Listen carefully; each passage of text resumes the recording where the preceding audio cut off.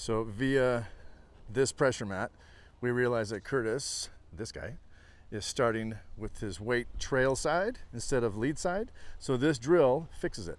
We take a tee and we put it about eight inches in front of the ball and we're gonna push it all the way in. So what he's gonna do is once he starts, do one more time for me, Curtis. Once he starts, he leans a little more towards the target because he's addressing that tee. He's gonna go around the ball, take a shot, murder it, and say, thanks, coach. Anyway, that's a good drill. Good job, dude.